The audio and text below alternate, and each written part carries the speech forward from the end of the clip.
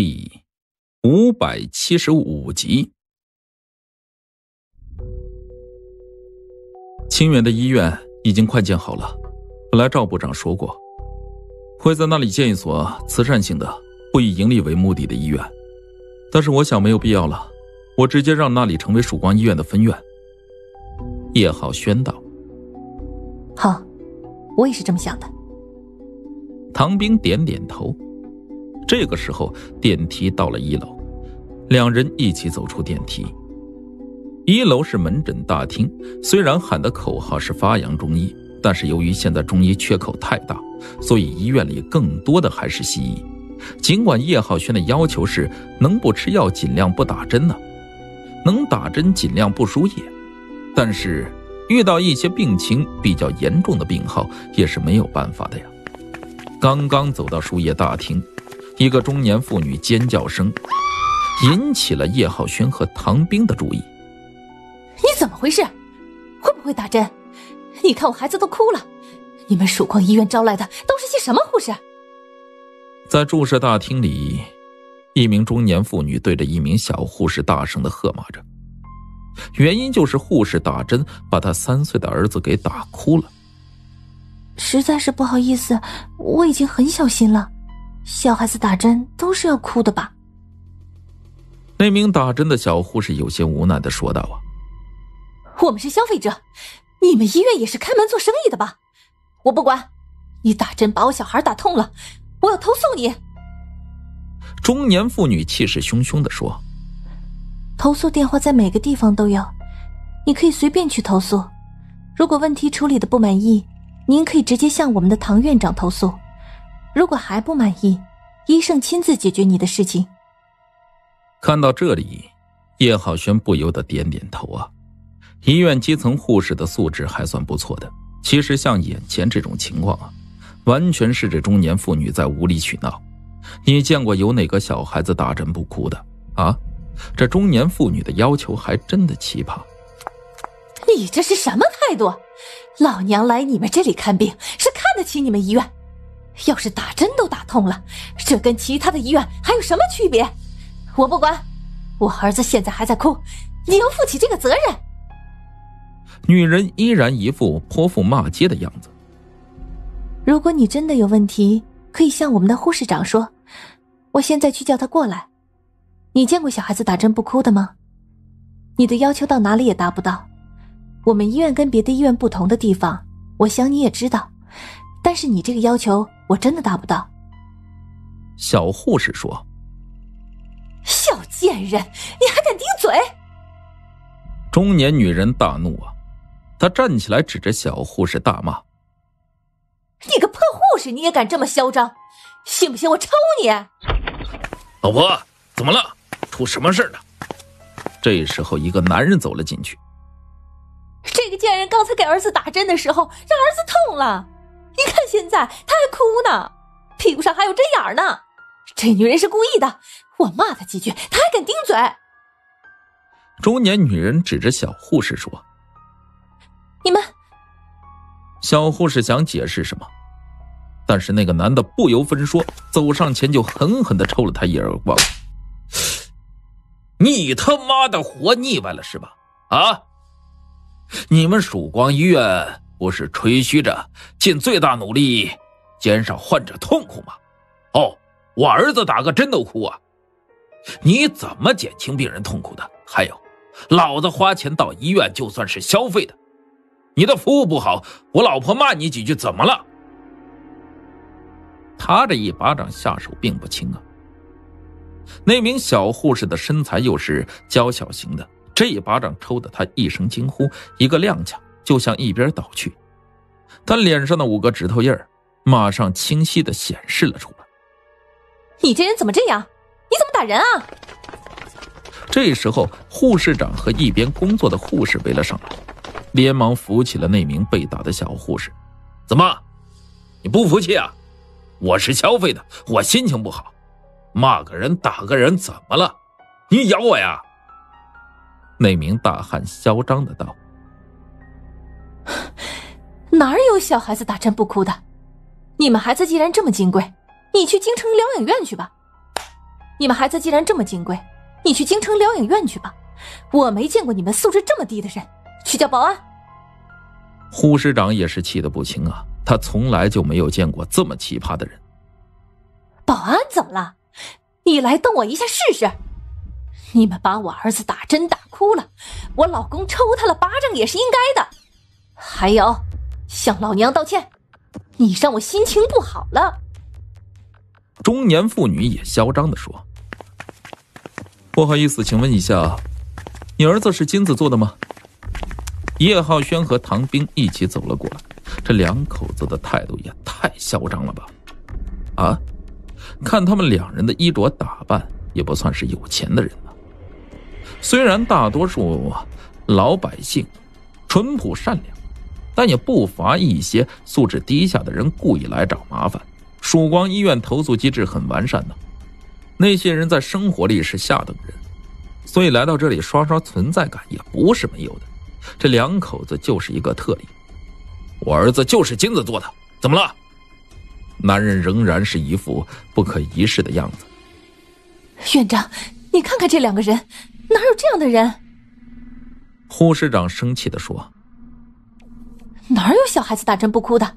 他们就是来找麻烦的。”我知道，刚才的事情我都看到了。只要是按照我们医院规章制度来的，受了委屈，我会为你们出头。我们的医院制度是为淳朴善良的人开的，有些恶人不配来我们医院来看病。还有，你们来到了曙光医院，那就是我的员工，我不会让我的员工白白的受委屈。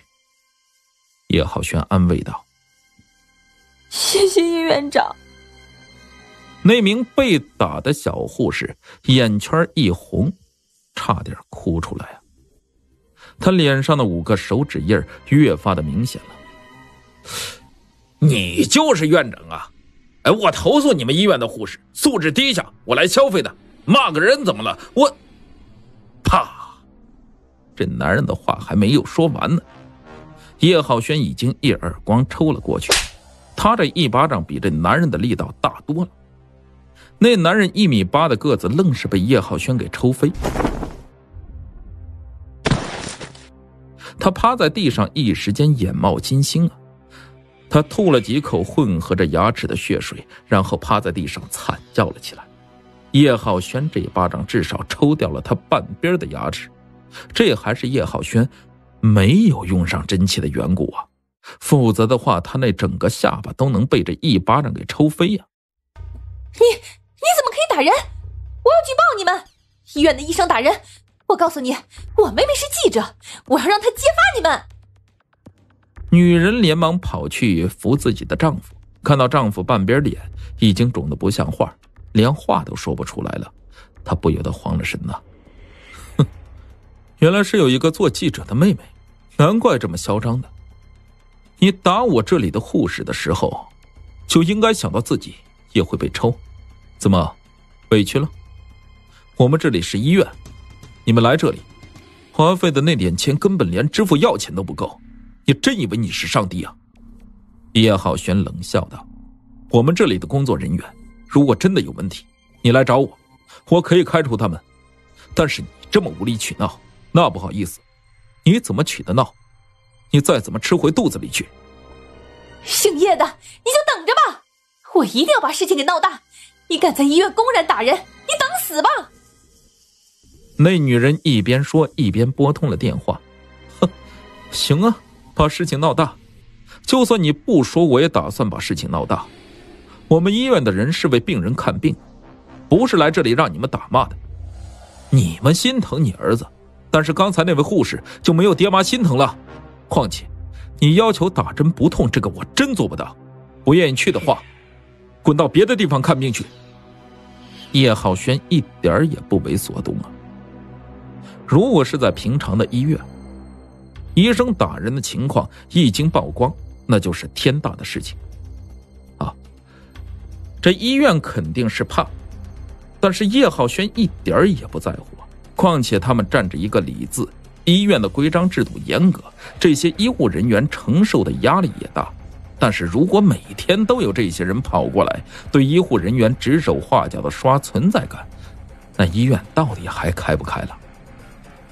他最了解这种人呢，这种人就是见曙光医院的规章制度严格，来这里故意找茬的。通过这件事情，叶浩轩认识到啊，医院制度上的不足了。他只顾着患者的感受，却忽略了医生护士的感受。看来以后要改改了。打完了电话，那女人就气哼哼地看着叶浩轩，那好像他一副吃定了叶浩轩的样子。他认定现在所有的单位怕的就是媒体，他就是不相信叶浩轩不怕记者来把这件事情闹大。叶院长，谢谢你，我受点委屈不要紧。但是别把事情闹大了。刚才受委屈的小护士小声说道：“刚才的事情我都看到了，错不在你，所以我不能让你受一点委屈。之前医院的规章制度比较严，处处都为患者着想，这也就造成了有些素质低的人来这里故意找你们的麻烦。以后的话，医院的规章制度会有所改观，考虑患者的同时。”也会多为你们考虑，否则的话，你们承受的压力也太大。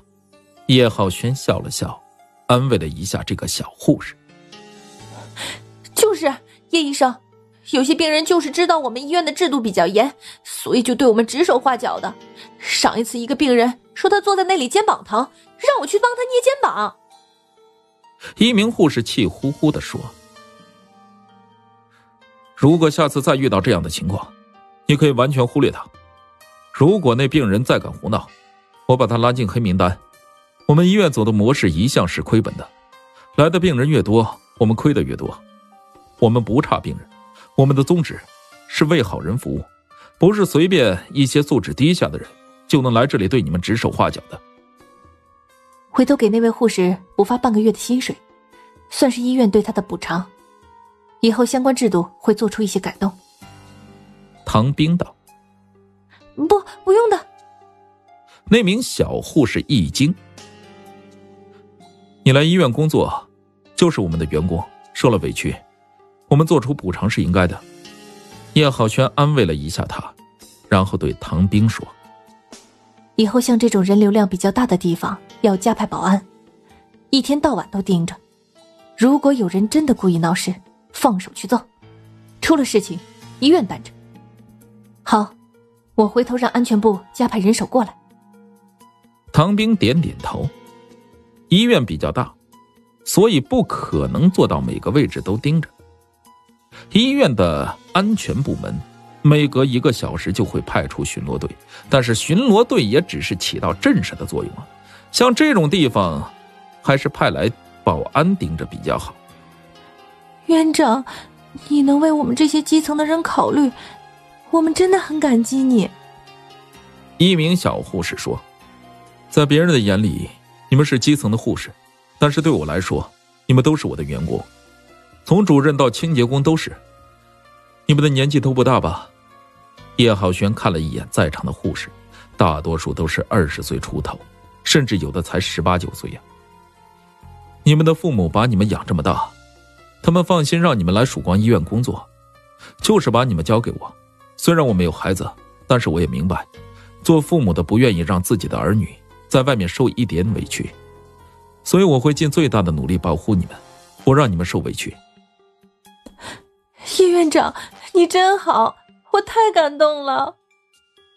叶浩轩的一番话说到了这些小护士们的心里，他们大多数都是刚刚踏入社会的，工作压力大，有时候要忍气吞声。叶浩轩的这一番话让他们十分感动。好了，都回去工作吧。以后谁敢对你们动手，直接抽回去，出事我担着。叶浩轩豪气的一挥手。谢谢叶院长。在场的护士们的心情格外的高兴。叶浩轩的话等于说是让他们吃了一颗定心丸，因为制度的问题，他们一向说话都是小心翼翼的。生怕有些难缠的病人会投诉他们，就算有时候受些委屈，也无人倾诉。叶浩轩的话无疑是告诉他们，以后只要做的对，就不用害怕。姐夫，你怎么了？小护士们刚刚散去，一个扎着马尾辫的女孩跑了进来，看她行色匆匆，胸前还挂着记者证，这感情就是这对夫妇口中的记者妹妹吧？玲玲啊，你可算是来了，你一定要为我们做主啊！这里的医生公然打人，你看你姐夫的脸都被打成什么样了？中年妇女一看到这女孩，像是遇到了救星一样的扑了上来。姐，你告诉我到底怎么回事了？姐夫怎么被人打成这样了？女孩有些吃惊的说：“就是他打的，那个叶浩轩打的人，他还算是公众人物了。”怎么就敢出手打人？女人向叶浩轩一指道：“叶医生。”女孩愣了愣：“没错，是我，文大记者。呵呵，我们又见面了。”叶浩轩微微的一笑啊，这女孩他认识，正是？前些天为了采访他，天天堵在医院门口的文玲。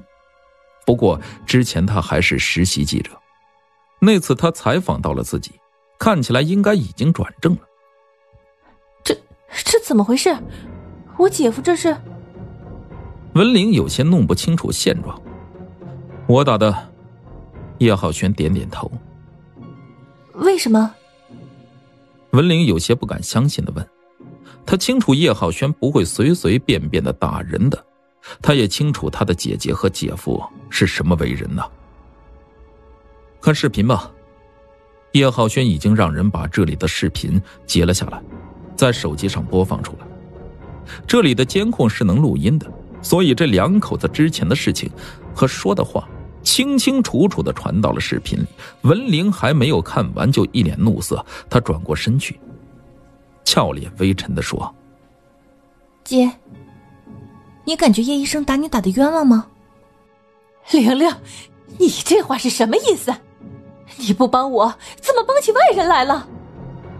女人怒道：“我的好堂姐，你的宝贝疙瘩是金子做的吗？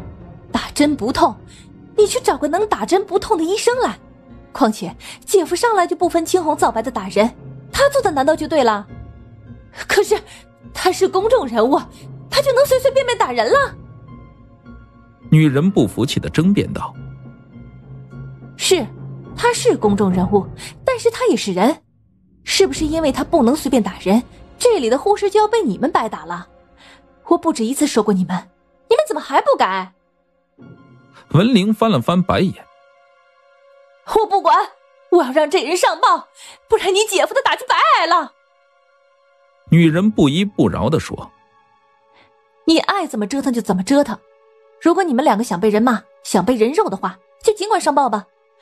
这份视频一传到网上，恭喜你们，你们两个以后就别想再安生了。文玲对她自己的这个堂姐的智商感到着急呀！明明是你们的错，你们还想要怎样？这份视频一旦曝光了，倒霉的也只会是你们罢了。没见过这么二的人。我。难道就这么算了？中年妇女也知道理亏，她如如的说：“哼，你想怎么样？赔偿？那好，以后曙光医院把你们列入黑名单，怎么样？”叶浩轩冷笑道：“这两口子还真的把自己当成人物了。曙光医院不给垃圾治病啊！”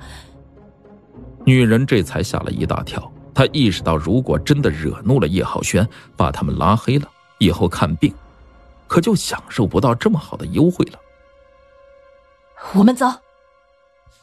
女人咬咬牙，拉着自己的儿子，和脸肿的像南瓜一样，连话都说不出来的丈夫一起离开了。